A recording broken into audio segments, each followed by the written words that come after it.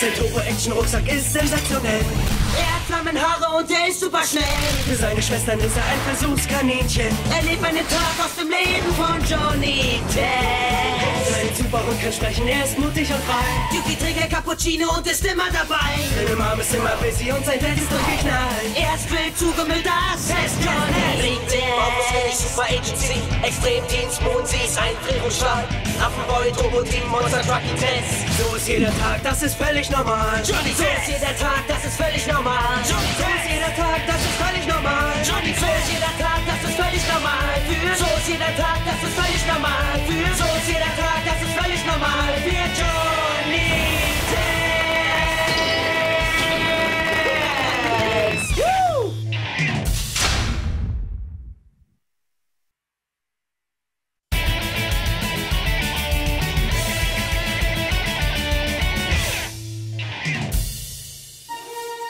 Das Neueste aus Pork Belly.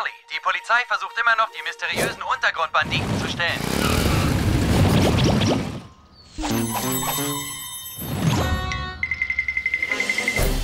Da ist sie, die mächtigste, größte ähm, Fliegekiste, Rakete, die mächtigste Rakete der Welt. Das war aber nicht eingeplant. Der Wagen ist nicht nur geländefähig, gegen den stinken ihre Nachbarn garantiert tierisch ab. Für die Ergreifung dieser total ausgeflippten und bizarren Kriminellen setzt die Polizei 500 Dollar aus. Zum letzten Mal, Johnny. Die Untergrundbanditen sind keine Maulwurfmenschen. Ich werd's beweisen, Dukey Boy. Ich brauche einen Maulwurfköder. Und der bist du. Dann schnapp ich mir die Grubenkriminellen, kassiere die fetten 500 Dollar, kauf mir 20 Videospiele und wenn du mitspielst, ein Steak. Schnappen wir uns die miesen Maulwurftypen. Da krieg ich doch gleich eine mördermäßige Macho-Lederbiker gute Laune. Ist das nicht die neue Kamera von deinem Dad, die du bei Strafe nicht anrühren solltest? Ja, aber wenn man's genau nimmt, dann habe ich die Kamera gar nicht wirklich angerührt. Ah, die Kamera, sie ist weg!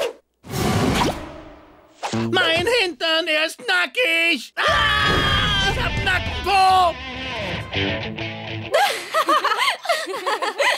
Was? Maulwurfmenschen? Das ist die unwissenschaftlichste These, die ich jemals gehört habe. Naja, ganz unmöglich wäre das nicht. Du kannst nie im Leben meine supergeniale Zwillingsschwester sein. Ah! Au! DNS-Übereinstimmung positiv. Ich brauche den Schlüssel für den nuklearen Erdbohrer, bevor... Johnny, wo ist meine neue Kamera? Ähm, es waren die Maulwurftypen der Diebe aus den Tiefen der Erde, subterrane Spießgesellen, rüde Piraten. Die haben deine Kamera. Wir haben noch versucht, sie aufzuhalten, aber... Schon gut, alles klar. Dann hol mir meine Kamera schnell zurück von diesen Maulwurfsmenschen. Und zwar noch vor dem Essen. Sonst gibt's keine Videospiele, keine Comics und keinen, äh, Dukey. Bis du 30 bist. Ach ja, und Essen gibt's um 6. Ich mache uns Fleischklopse. Du kriegst den Schlüssel für den Erdbohrer, wenn du uns einen klitzekleinen wissenschaftlichen Gefallen tust. Ihr wollt, dass ich Salz esse? Das ist kein Salz. Das sind mikrophysikalische heißer Bodyflakes. Sie verwandeln deinen Körper genetisch in einen maximalen Teenager-Body. Dann bist du genauso attraktiv und süß wie... Ah, Gil von nebenan.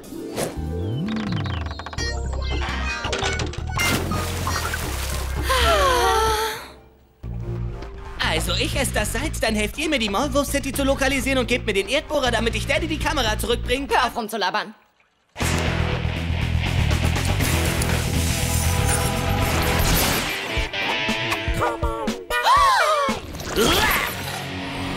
Zu viel weibliche Wachstumshormone. Was habt ihr gemacht? Er, sie, es ist abscheulich. Hey, ganz cool, sabbernde Fusselbirne. Das ist eine Mikrodosierung, die hält nicht sehr lange.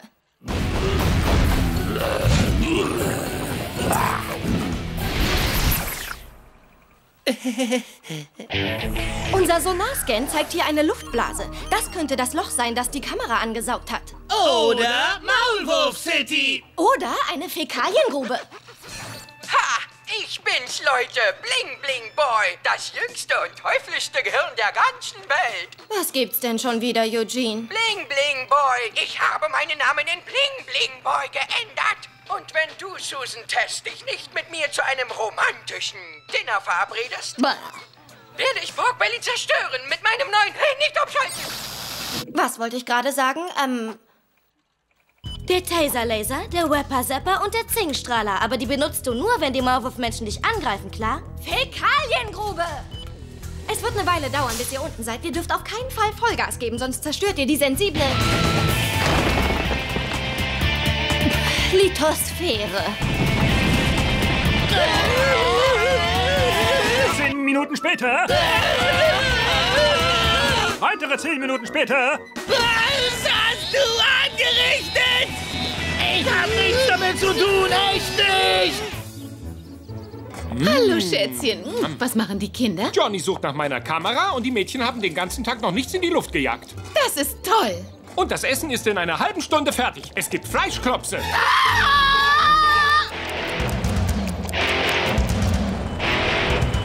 Also, wir springen raus, zeigen den Maulwurf-Typen, dass wir in Frieden kommen, schnappen uns die Kamera und sind eins, zwei fix zum Essen zu Hause. Wir kommen in Frieden und wollen nur das, was deinem Dad rechtmäßig zusteht. Ergebt euch, ihr miesen Maulwurf-Typen! Oder wir machen euch platt! Wow. Damit hatten wir nicht gerechnet. Okay, kein Grund gleich auszuflippen. Ich meine, wie gefährlich können Maulwurfmenschen schon sein? Unsere Sicherheit ist durch Eindringlinge von der Erdoberfläche gefährdet. Ich meine den Jungen und die Schlabberschnauze da. Wir müssen also unseren Angriff auf die Erdoberfläche beschleunigen.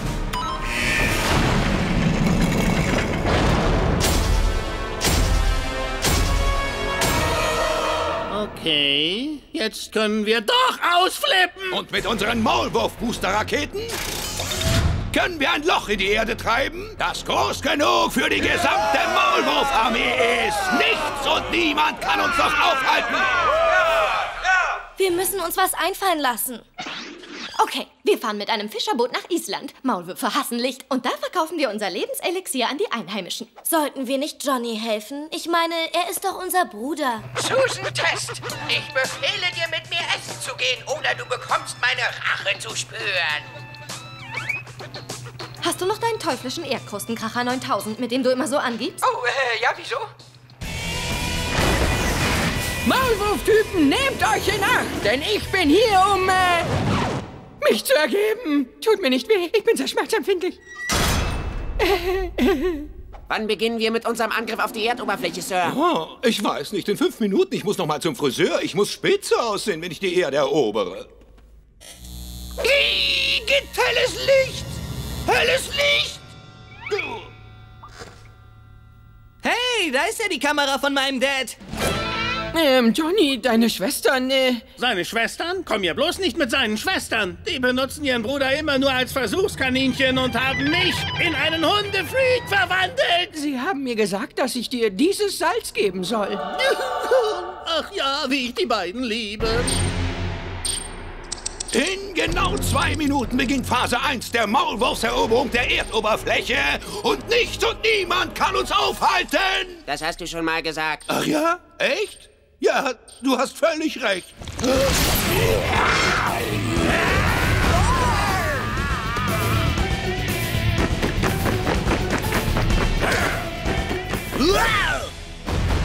Jetzt bist du derjenige, der uns nicht aufhalten kann. Ich korrigiere. Jetzt bist du wieder derjenige, den wir nicht aufhalten können. Ähm, weg hier!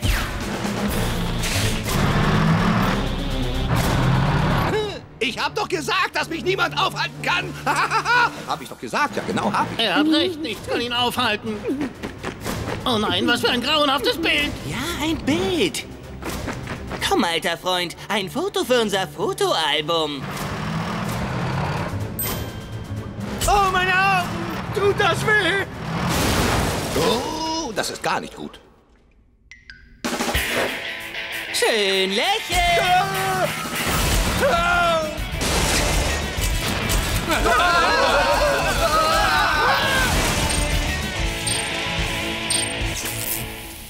Aufhören, bitte. erspar mir deine tödliche Blitzwaffe. Ich werde auch die Erdoberfläche nicht mehr angreifen. Versprochen.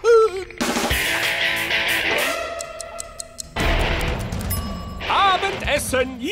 Wir sind nie im Leben pünktlich zurück. Der Bohrer ist zu langsam. Wir müssen ihn nur ein bisschen aufmotzen. Vergesst niemals, jeder auf der Erde hat diese tödliche Blitzlichtwaffe.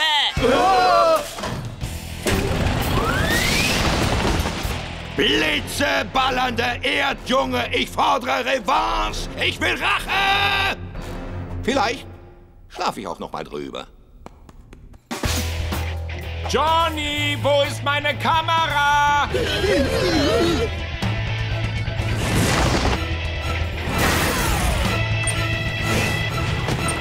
Hier ist die Kamera, Daddy. Wir sind doch nicht zu spät. Das ist Eugene. Ich glaube, Susan hat ihn zum Essen eingeladen. Bling, bling, boy. Äh, äh, Entschuldigung, ich äh, bin Bling Bling Boy. Sehr schön. Heute gibt es leckere Fleischklopse.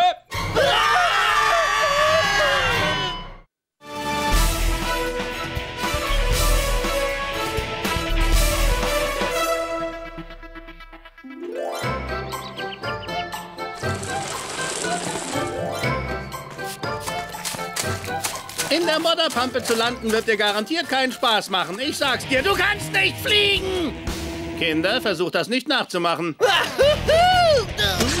Jungs können nicht fliegen. Ich bin dran. Ähm, was ist mit deinen flippigen Schwestern? Ach, die warten auf Gil. Hi, Gil! Woohoo! Hi, Johnny.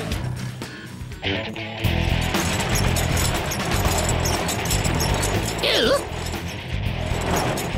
Hi, Gil! Hi, Johnny. Hi!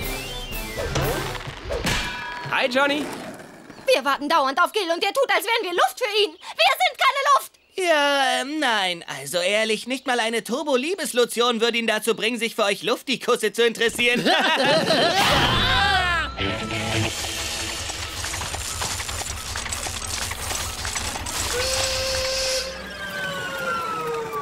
Liebeskaugummi. Er lässt Gils Geschmackszellen mutieren und sorgt dafür, dass er sich in uns verliebt.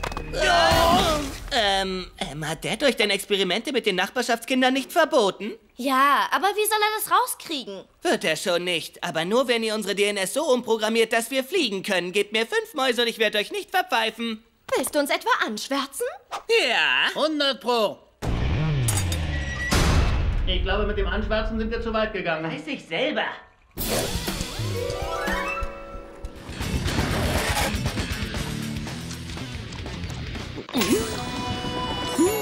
Hi, Gil! Hi, Susan. Mary. Es gibt da etwas, das ich euch schon lange sagen wollte. Ja, Gil? Ich liebe. Ich liebe.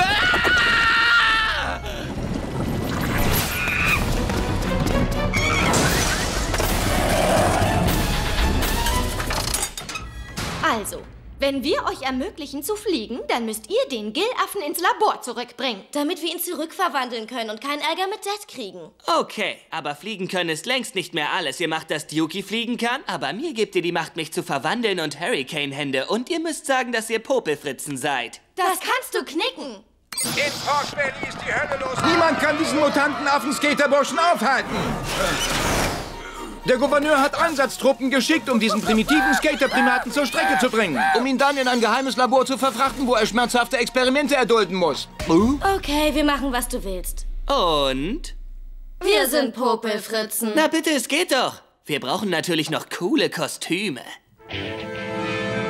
Von jetzt an, meine lieben Schwestern, nennt mich Johnny X. Niemals! Ähm, sag mal, das wird uns doch nicht wehtun. Nein, nur euch beiden.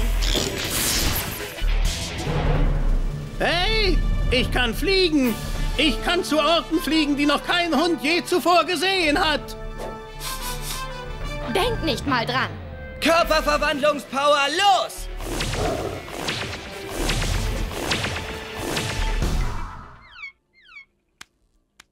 Jetzt schnappt euch Gil.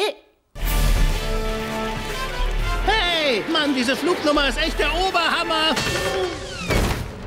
Dieser mutierte Affenjunge macht unsere ganze schöne Stadt kaputt. Kann ihn denn niemand aufhalten? Körperverwandlungspower und los! Hey, Affenjunge, ich denke, es wird Zeit, deinen apfelhagelnden Terror endgültig zu beenden. Der mutierte, sprechende Elefant versucht, den Affenjungen aufzuhalten.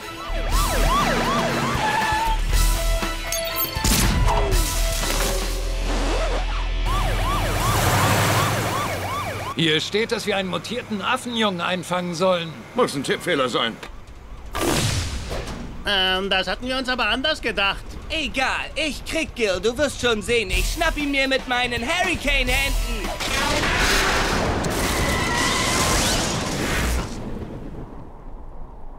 Du hättest dich auch in eine Schlange verwandeln und dich rausschlängeln können. Aber dann hätte ich ihn nicht geschnappt. Da, der Affenjunge.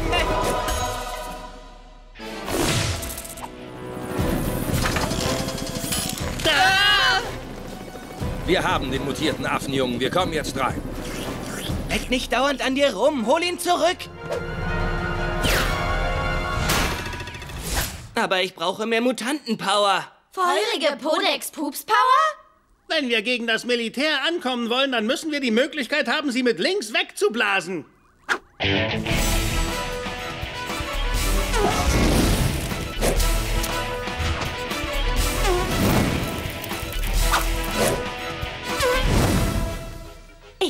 Kein Stück davon.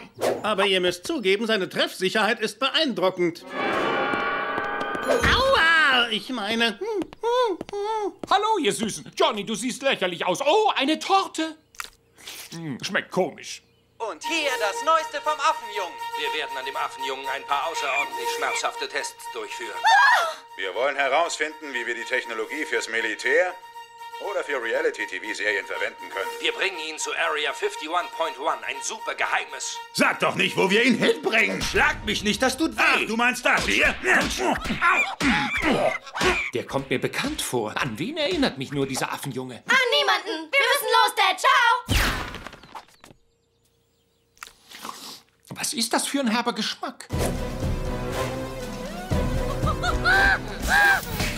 Okay, wessen Idee war es, ihm Äpfel zu essen zu geben? Du fliegst zu langsam. Oh, wenn's dir nicht passt, kannst du dir von mir aus gerne einen anderen fliegenden Hund nehmen. Wir haben dir den Gebäudeplan rübergeschickt. Gil wird im Südostflügel festgehalten, im Block 13. Und fliegt schön tief, sonst werdet ihr vom Radar geortet. Keine Sorge, wir sind sozusagen unsichtbar. Da ist ein Junge in einem coolen Outfit auf einem fliegenden Hund. Alarmstufe Rot! Ich glaube, das ist kein gutes Zeichen. Wollen doch mal sehen, wie sie damit klarkommen. Körperverwandlungspower, los!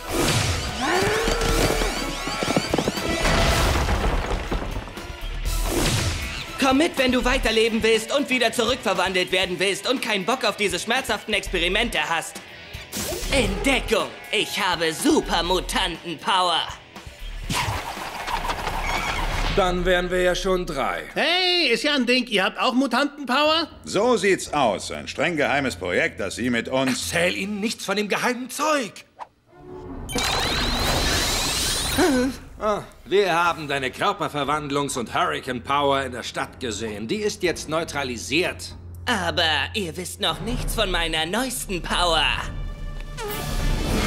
Feurige Powerpupse. An dieser Technologie arbeiten wir noch. Zurück! Sonst setze ich seinen Podex ein.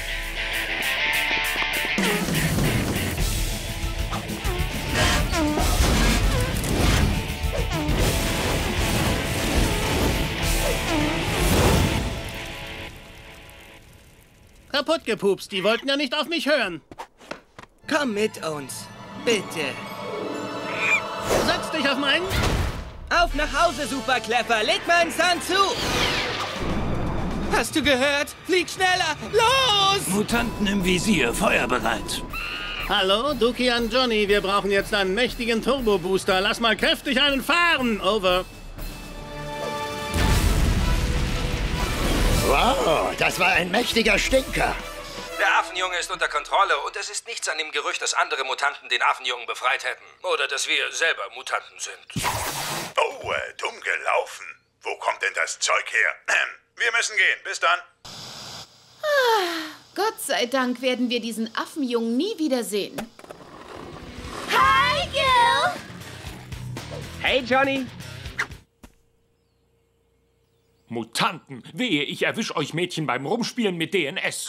Sieh doch, Johnny hat seine ganzen Bohnen aufgegessen. Wir sind satt, wir müssen los. Tschüss. Oh, gleich lässt er einen fahren. Mac?